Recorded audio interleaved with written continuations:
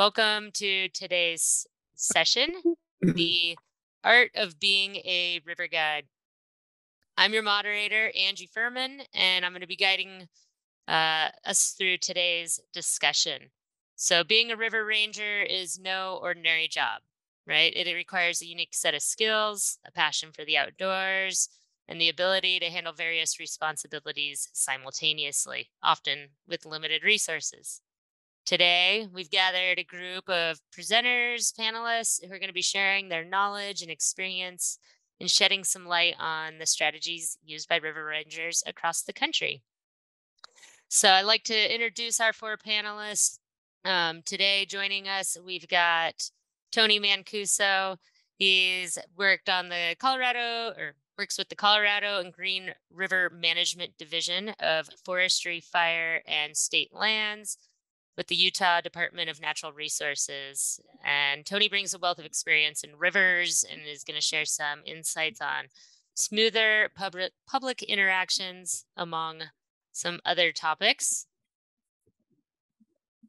Today, joining us, we also have Patrick Kollodge, the commercial permit administrator from the Medford District of the Grants Pass Field Office of the Bureau of Land Management.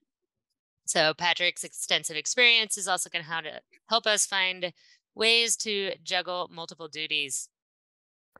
Also joining us today, we've got Echo Miller Barnes, the lead river ranger from the Hungry Horse Glacier View Ranger District of the Flathead National Forest. Echo's got some expertise in working with stake, other stakeholders to maximize the impact of your work as a river ranger.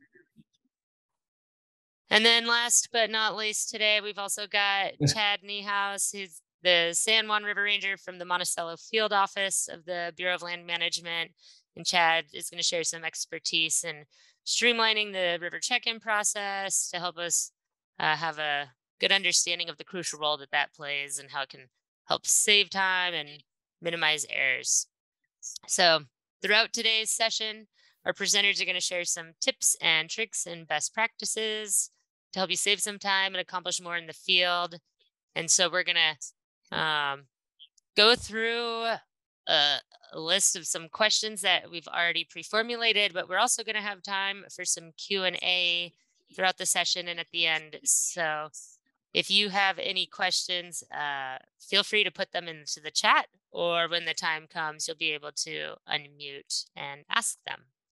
So I'm going to stop sharing my screen now so that we can all have a conversation.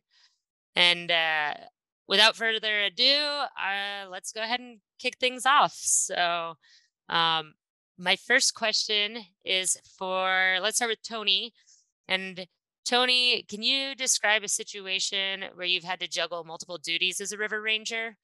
And maybe share with us how you prioritized your tasks and managed your time efficiently? Sure, thank you. Um, Working at the Utah DNR in the navigable waterways section is kind of unique because rather than a, river ranger program being a part of a, a, recreation section or a specific national conservation area, um, everything that goes and happens down in the river corridor in the navigable waterway um, comes through our office.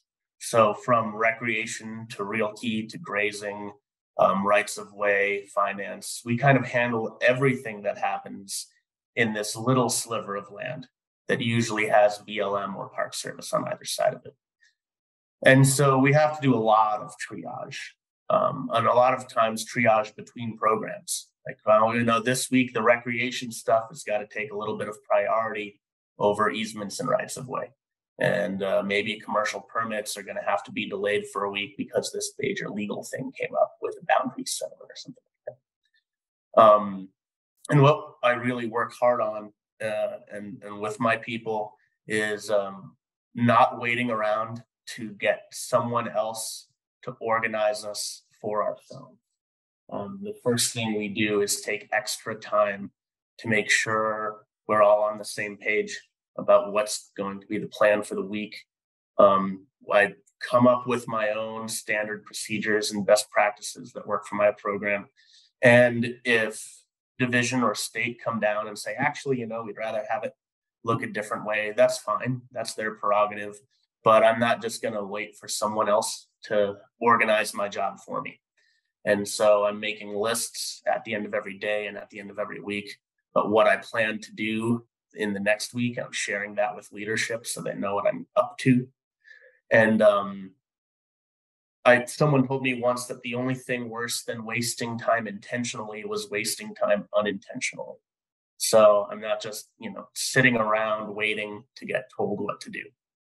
Um, that's that's my big thing. When you have all this stuff going on, um, don't procrastinate. Get out in front of it.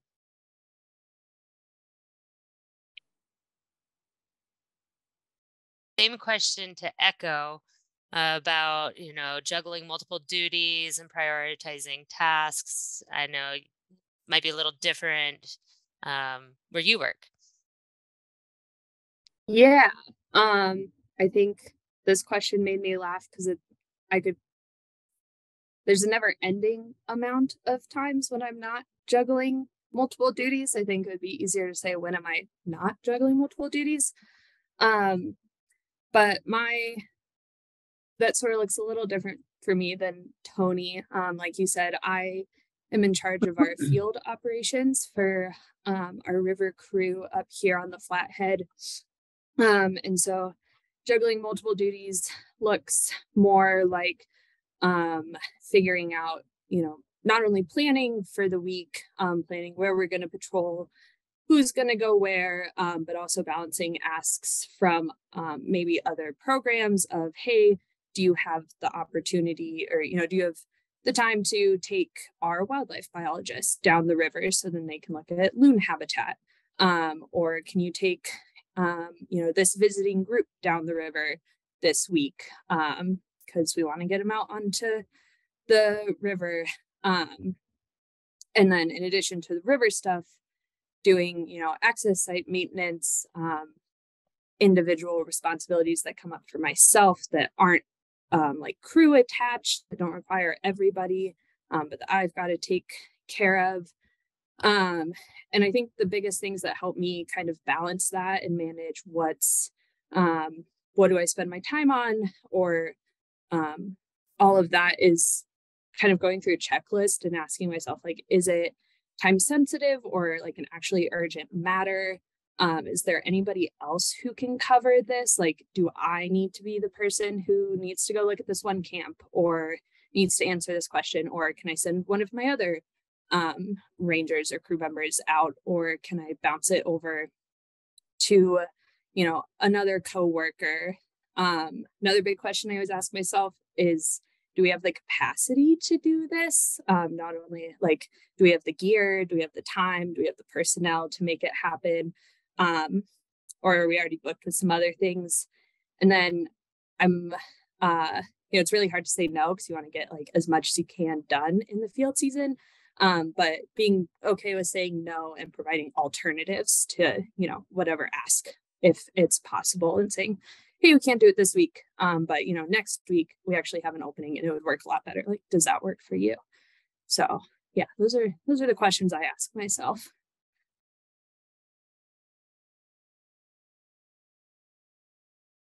Um, your perspective on this. I know also different from Tony with the state and then Echo with the Forest Service, you're with the BLM. I don't know if you have any, and also just through your experience.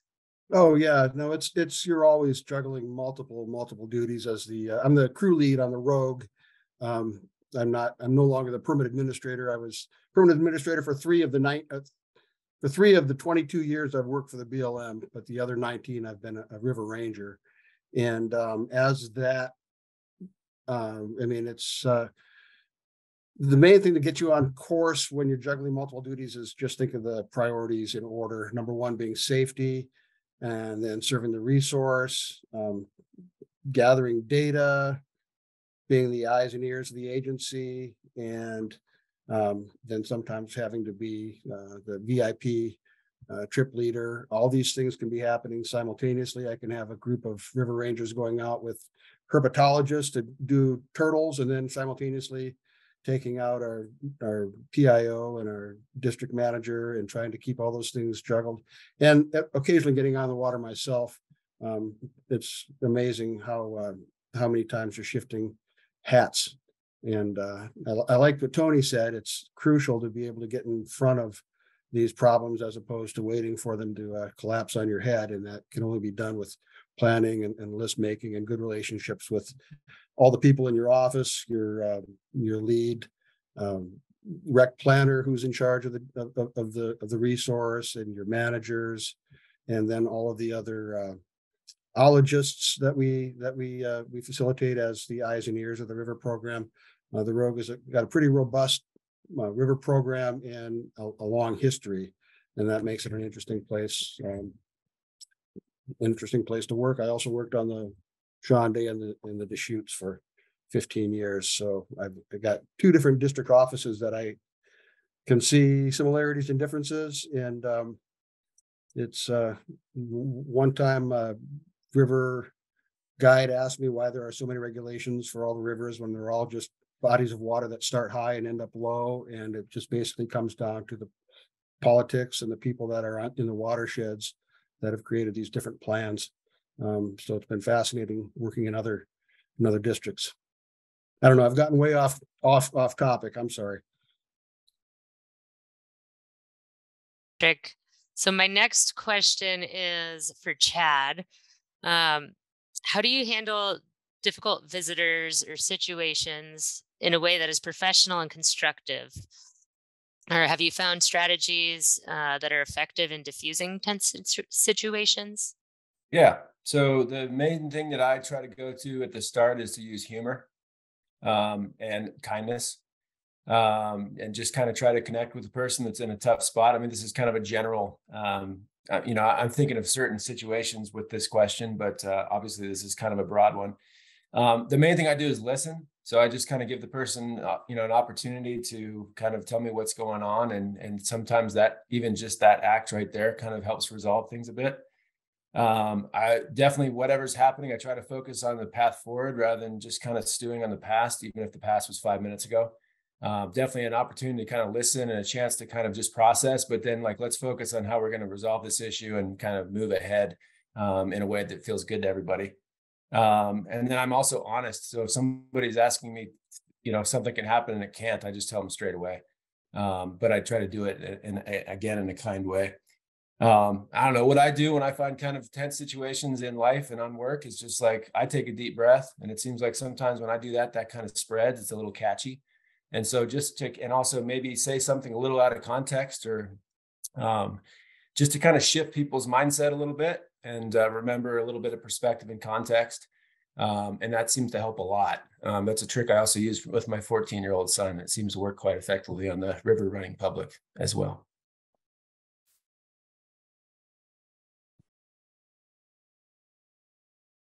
and thing to keep in mind.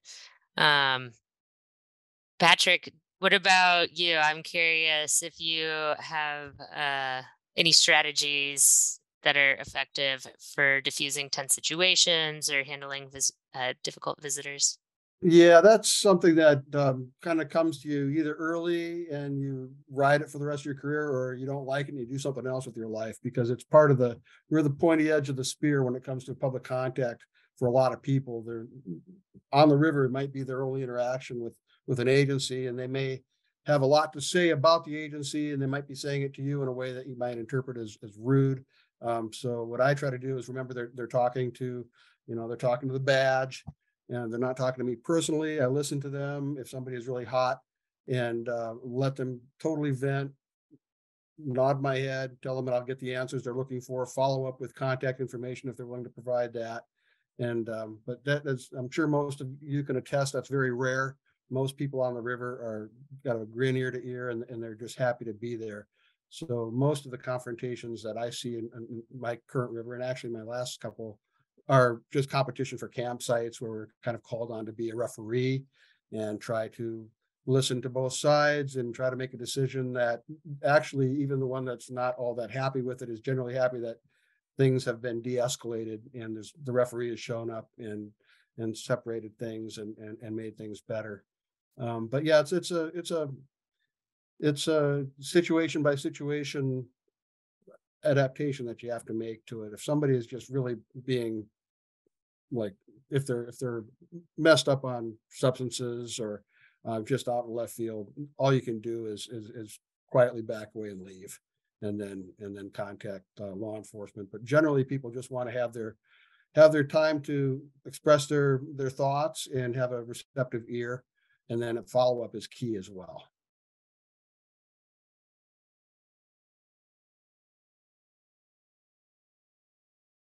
Well, Tony, I'm curious if you can share with us possibly some common mistakes or misunderstandings that visitors have when it comes to river safety or regulations and how you might educate them and enforce rules without coming across overly strict or harsh.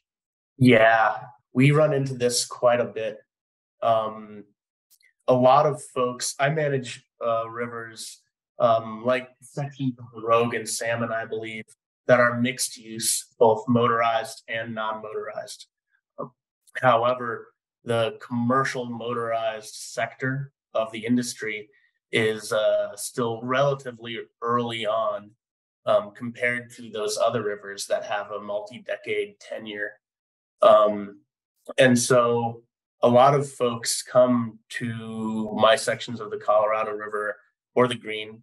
Um, there is no commercial; it's just private motorized use on the green, um, and don't anticipate seeing um, upstream travel, and that's a really quite difficult uh, thing to manage because most um, non-powered river recreation doesn't know about the Coast Guard's inland nav rules. So there's an entire rule book out there that doesn't apply that applies that people have never really had to consider. And so you need to introduce this idea of, um, you know, draft restriction and wakeless speed and speed and procs and moving to the left. And we've got a, a, a blob of multicolor inflatables heading downstream and they don't move over. It, it can make things difficult. And we're trying very hard to get that messaging out um, really before people get on the water because there's not we can't be everywhere all at once but we can find that inflection point where we can meet the most people at the same time and so you know we also don't do um, a permit check-in it's a free launch so uh, particularly during holiday weekends like this weekend we're all out in force just tabling boat ramps and doing check-ins trying to just keep the net as tight as possible and we explain to people i you know um, I think they teach this in LNT courses about the authority of the resource. Um, you know, I I give people the benefit of the doubt for the sake of their intelligence and get technical about you know why that motorboat couldn't just stop for them and turn around because the river is shallow and the boat would crash. And if you give people the benefit of the doubt for the sake of their intelligence and really explain it, that they get it. 90% of the time they're like oh yeah that make that makes sense. I should move over next time. Yes thank you. Um you know i i like to in earnest not cater to the lowest common denominator. Explain things.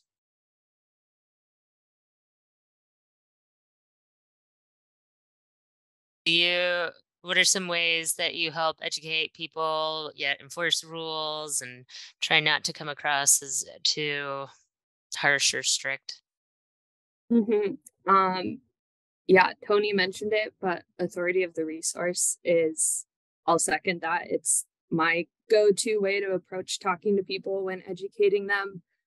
Um, we also the Three Forks of the Flathead River up here in Northwest Montana is also not permitted. Um, so we have a whole slew of access sites um, along both the North and Middle Forks of the Flathead. So people are hopping on for day trips, they're hopping on for overnights, um, just, you know, whenever they want. So we don't get a chance to really sit, like, get that initial interaction before they get on the water. Um, so when we do run into people, on the water and are making those public contacts um yeah always trying to speak from um a a spot of focusing on the river because that's a common ground that people, you know, everyone's out there because they want to be there and they all really care about this resource, um, rather than speaking from like the badge um, and from the Forest Service. I try and speak from the river and focus on people's like the implications of people's actions. Um, we are up here in grizzly bear country, so proper bear food storage is really big. Um, and usually people are pretty good about it, but you know, we're getting a lot more visitors from out of state, um, out of the area that aren't familiar with traveling and camping in um, grizzly bear country. And so, you know, focusing on the implications of what happens when you don't properly store your food um, and a bear comes by and what's going to happen after. Um, that gets people because then they're like Tony said, they're like, oh, I just didn't know. Now I know. And like, yeah, that makes a lot of sense. Um, sometimes, like, depending on who it is, um, trying to kind of guilt trip people a little bit, you know, without being like sarcastic or um, just like done with talking with them because this is the fifth time we've had to talk about bear food storage that day.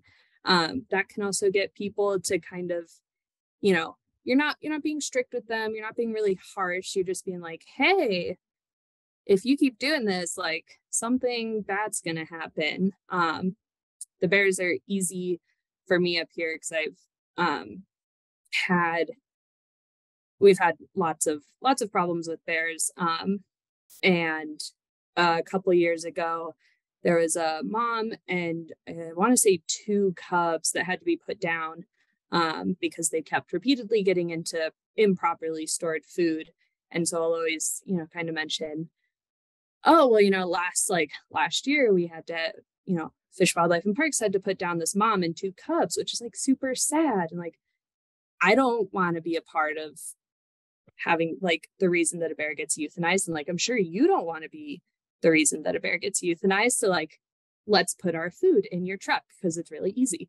Um, and that kind of like pulls at people's heartstrings and can get them to realize the why behind some of our rules and regulations um, and then i think chad mentioned it earlier with dealing with tense situations but always just starting off with like a nice comment a little bit of humor like find some common ground when you're initially talking to people even if it's just like how bad the wildfire smoke is right now or how hot it is um, just getting that common ground can go a long way in making people um, see you as a person and not see you as just like the river ranger who's here to tell you not to do things.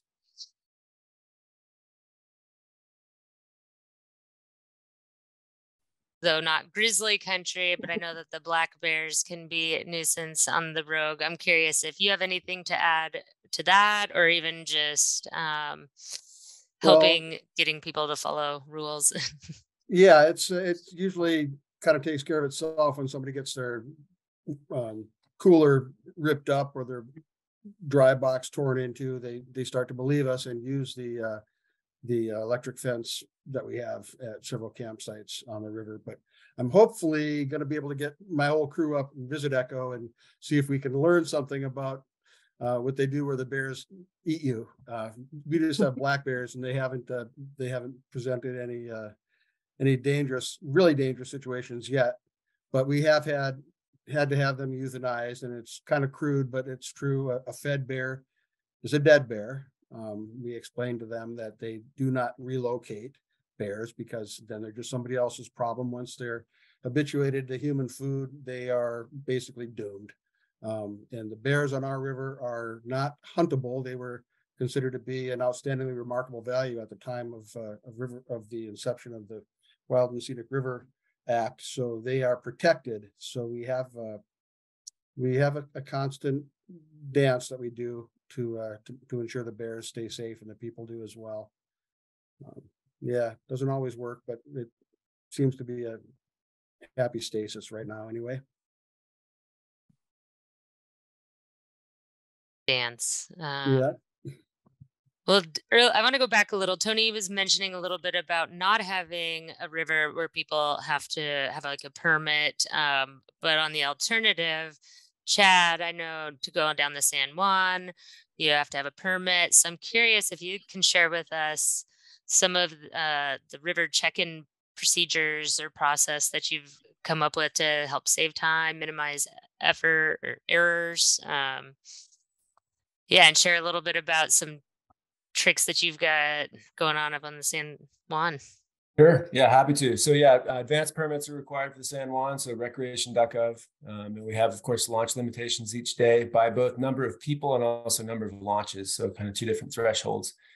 Um, we do things, I think, a little different. I haven't talked to anybody else that's doing it this way, but um, during COVID, we started doing phone check-ins. So of course, we got people's information before they show up. So about a week out, in fact, that's what I'm doing today. Otherwise, um, we give folks a call. So it's just the trip leader, the, per, well, the permit holder, which is usually the trip leader. Um, and uh, kind of go through, you know, we have a more or less a spiel. I try to make it sound fresh and exciting every time and not too spiel like, but uh, I want to make sure that I'm at least hitting the, the, the important things. Um, I love it. And I'm not a huge fan of talking on the phone in general. Like it's not something I enjoy doing. Um, but for some reason, it's really nice to connect with people. Sometimes these conversations are five minutes, sometimes they're 45 minutes. And it's just a way more relaxed environment than the ramp, which can often be stressful, not only for boaters, but also for us rangers too. Um, and you know, it can just be easy to get buttons pressed and oh, there's somebody backing in a trailer and they're about to hit us, and all those things, all those stressors don't really exist as much. Um, and so it's an opportunity to again make sure everybody's um, prepared. Um, in some cases, I'm certainly doing some trip planning, which I'm happy to do. Um, you know, like like as I'm talking to people today, I just got off yesterday. And so, you know, we have high water here at the moment, and there's special things that are happening with that high water that people need to be aware of. Um, and this was touched on earlier, but like the, I'm a huge fan of um, people having accurate expectations, even if the news I'm sharing with them isn't great. Like the camp you want to stay at is going to be underwater. Um, they still have a better trip and a safer trip and all all that around just because they they have a, a pretty clear uh, conception and they're not surprised when they get there. Um, and so anyways as far as making consistent we definitely i try to make it very conversational but i've got a little cheat sheet that i just kind of a, uh, you know look at every now and again to make sure i've um, covered the important things. But i, I do try to like just kind of let it flow and again listen um, and, and, and and of course uh, give people an opportunity for basically let that thing go as long as they want. So it's efficient in some ways, maybe not as efficient as you could make it if you're just like I need to do a check in in five minutes. But the efficiencies that we get out of are a little different. It allows us to spend a lot more time on the river doing patrols because we we're not just at the ramps waiting for people to arrive whenever they might.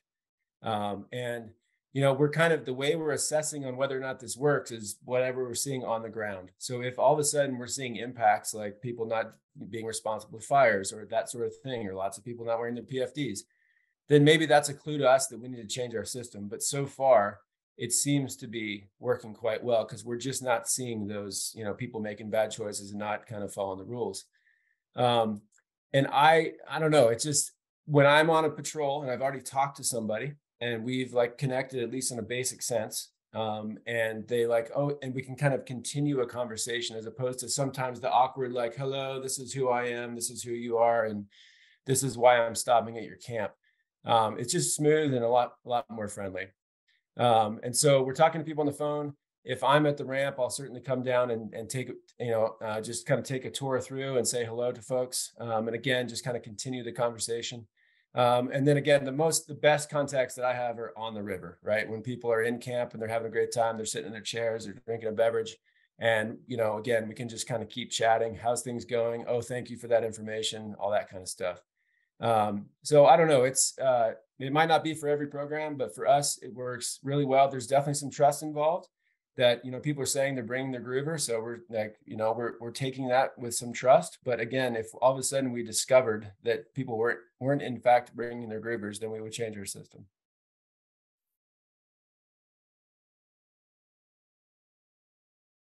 These check-in procedures. It gives you a little bit more time to get on the the river and get out there to do some patrolling. Do you yep. have any best practices for conducting some thorough and accurate patrol reports? For sure. So um, I I like to just do it on the spot. So if I encounter something, I stop. Well, I, you know, whatever the situation is, I continue to float my boat, or I pull out, I eddy out, and anyways, I use my phone.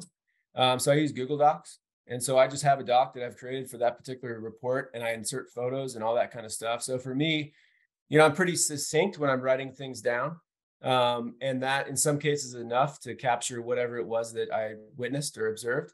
Um, but other times it's just my kind of uh, cue when I get back to the office or whatever, when I'm kind of completing that report, maybe I expand on that, but it captures kind of the, the kernel of, of, you know, what I need to capture. And there might be more detail that I need, need to add later. Um, I think photos are great. I take lots of photos um, because oftentimes that's a reminder to me of something that I saw that maybe I didn't jot down, but also just obviously that captures what I what I saw, right? And so I, I use my phone a lot, and I include that stuff in the report. I include photos in the reports. Um, and I think, you know, for office staff, that's the main kind of, so we're using them internally. Um, we don't, we're not set up. I'd like to be able to kind of convey like snippets of those reports to the public. Um, I feel like we're mostly capturing that through our phone check-ins and then just running into people and sharing stuff. Um, but for the most part, it's a really good way to kind of keep office staff, especially like folks that work, like there's a river phone at the Monticello field office. Um, so that's the person that actually deals with the recreation.gov questions and, and, and, you know, there's a point of contact there. So it's important that that person, even though they're not a river ranger doing patrols, has a pretty accurate um, concept of what's happening on the river. And so that's a good way for us to communicate that information.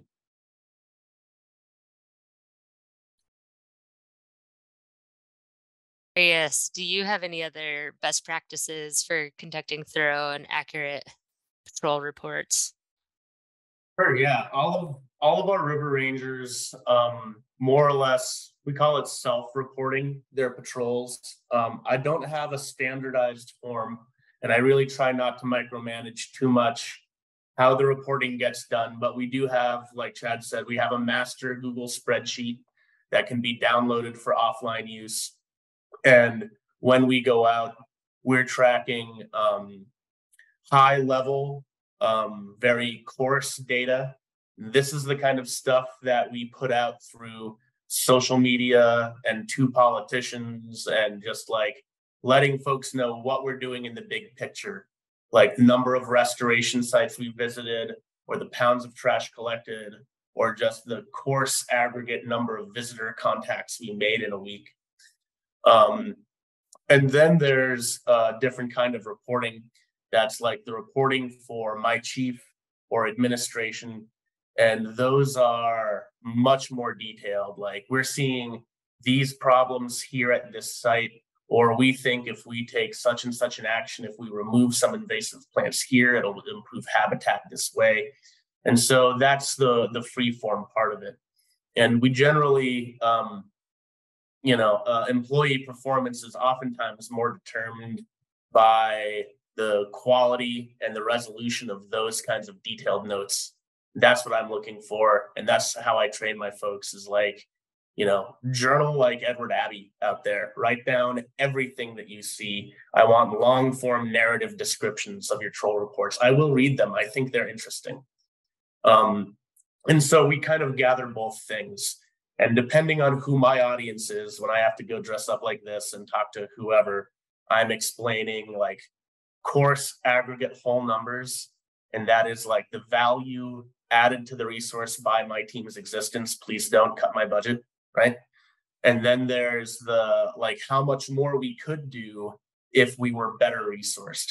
And that's the stuff I'm talking with region chief or the forest supervisor, district manager, whatever agency you're calling it. So I've got two kinds of trees of reporting depending on who I'm talking to.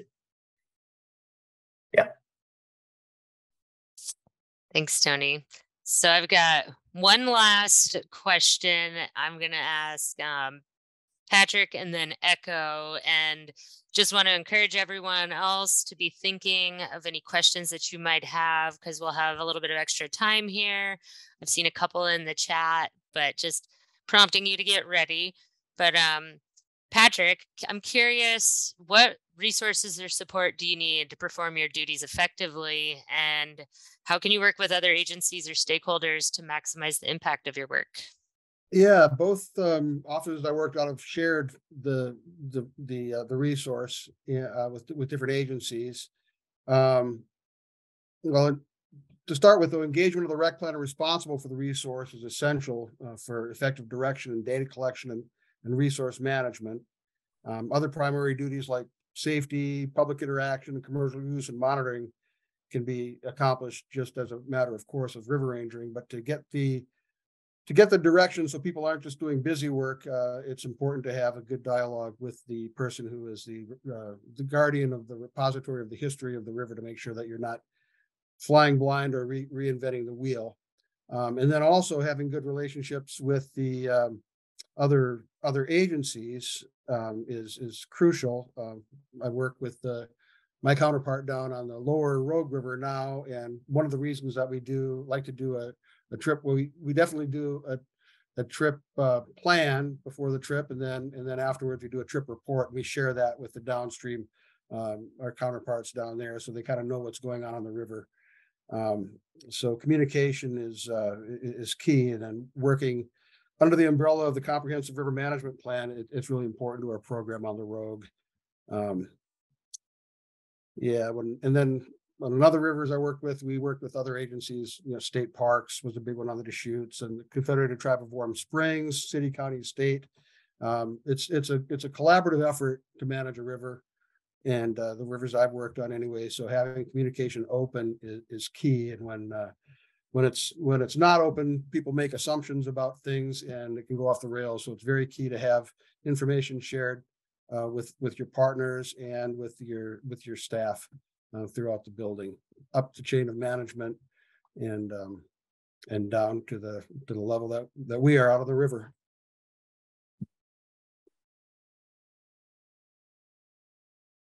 as well like what resources or support do you need to perform your duties and then how can you work with other agencies and stakeholders to maximize your impact Yeah, I think I agree with everything that um, Patrick said, and um, other part that's like important for me in being able to do my work um, is just forming good relationships with the people that I work with. Um, so not only with my supervisor, with um, you know the other people in my office, are law enforcement folks, making sure that I know who they are, they know who I am. Um, so then when something does happen, um, you know, they're like, oh yeah, I know who Echo is and what she's doing and um, what she's gonna need. Um, and then also forming good relationships with um, like my crew, the people that I'm out in the field with daily, and supervising and directing, and making sure that you know doing our best so that we all get along and um, you know we're a good performing group. Um, trying to form those relationships outside of just supervisor to employee or crew member to crew member, um, but getting to know them and um i am big on like having people who i can bounce ideas off of or get a second opinion from um in you know in my crew space so trying to form form that from the beginning um and not making it so much as a i know everything and i'm making the plans and this is what we're going to do and um if you have another idea like i don't want to hear it um but making it more of a like here's what i know here's what we're going to do you know if you have an idea about how to go about this differently or maybe something doesn't make sense and you're like why are we doing this echo? Um, like making that space to um, have people feel comfortable to ask questions bounce ideas off of um, and then of course there's always the situations where it's like no i said we're doing this and we're just doing this because that's what needs to get done um, but knowing those um, I think are two two big things that help me do my duties really effectively and um, just help out with having a good time at work. Um, yeah, and then the second part of that question, working with other agencies or stakeholders, um, we have a really neat relationship up here on the Three Forks of the Flathead. Um, it's a wild and scenic river that's jointly managed um, between the Forest Service um, and then also Glacier National Park. Um, and it forms the boundary of Flathead National Forest and Glacier National Park. So we've got a lot of mixed use going on, like two very different federal agencies with very different rules and regulations. Um, but they have a River Ranger program as well. And so at the start of the season, I was trying, you know, introduce myself to them, make sure we know each other. Um, we try and train together at the beginning of the year, go through um, our like on the water training, just get to know each other. Um, and then also share information throughout the season and make sure we have that open line of communication to where if they're out on the water seeing something, you know, on the forest side, they can communicate that with me. And then if I'm seeing, you know, me and my crew are out there seeing things that are happening on, um, you know, the park side or just things that are going on that um, I can share that with them and that we, yeah, have that open line of communication. Um, and we also try to coordinate being on different stretches of river on different weekends. Um, we'll we'll bounce around the North and Middle Fork. So, you know, if we, the Forest Service, are over on the Middle Fork one weekend, like trying to get um, the park to be on the North Fork that weekend, just so we can be in more spots at once and um, just reach more people and have a better idea of what's going on. Um, and then we also work with a non, a pretty new nonprofit up here called Flathead Rivers Alliance. Um, we were working with them pretty closely. They're uh, three years old, I think, this year. Um, but they have a cool program called uh, River Ambassador Program, where they're enlisting um, members or people from the community who care about the river, care about the flathead, um, want to get more involved, and training them and then having them uh, sign up for shifts to go be at boat ramps um, at some of the more popular access sites throughout the summer um, and just be another resource for people to talk to. They have information, you know, not only on Forest Service rules and regs, um, just information on wild and scenic rivers, uh, information on fish, wildlife, and parks, and like fishing rules and regulations up here, um, park regulations. They have like a whole slew of pamphlets and stickers and um, neat things. And so it's been really neat to work with them um, just to not only increase our reach of talking with people and getting that information out there but also just having folks who are coming at it from a different perspective like they're not working for an agency they're not out here to enforce um, rules they're just here to talk with people because they really love the river system um, and like they're passionate about it and that's what they're there for um, so yeah, working with both the nonprofit and the park to really just help protect the Three Forks of the Flathead more has been neat.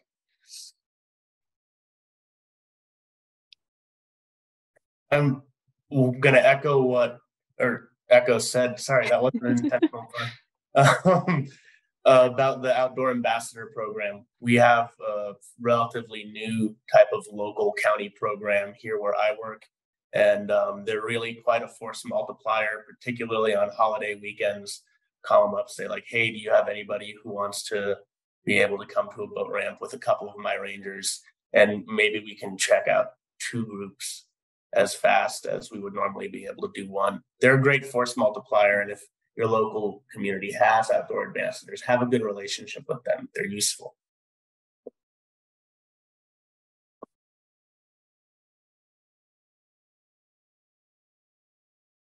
question that they'd like to ask. If so, you can raise your hand and I can call on you.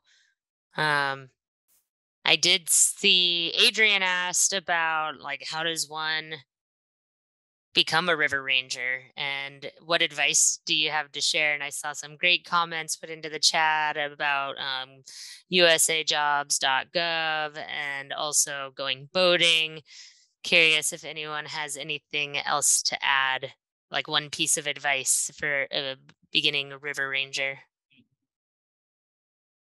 Yeah, go ahead, Chad. Sorry, I didn't use the digital hand. I used the hand hand.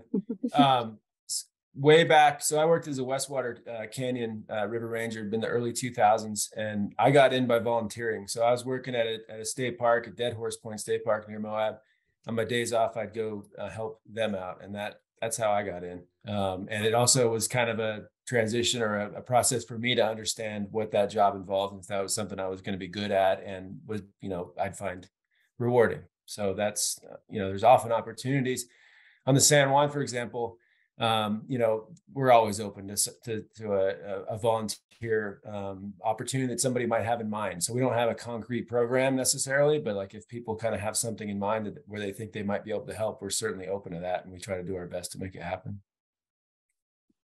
Yeah, as like we kind of started the discussion today, it seems like, you know, river rangers wear a lot of hats. They're often doing a lot of trying to accomplish a lot with limited resources. So a good way of getting in is like finding out where you can help out um and and help them accomplish more. Risa, you have a question? You know, wearing um multiple hats. Are how many of you are any of you all also law enforcement? I kind of forget how. No, no one's law enforcement. Sometimes Kind there's of. some rangers who are. So I, yeah, just was curious. Yeah. I I'm partially law enforcement. The Forest Service has a program, the Forest Protection Officer, um, which is not a full law enforcement position, but they we are able to write tickets, um, like citations and warnings and incident reports for level violations. Um, so things like not storing your food properly or um, overstaying camp limits. Um, so like a real low level law enforcement. Yeah, thank you. Just curious. Thank you.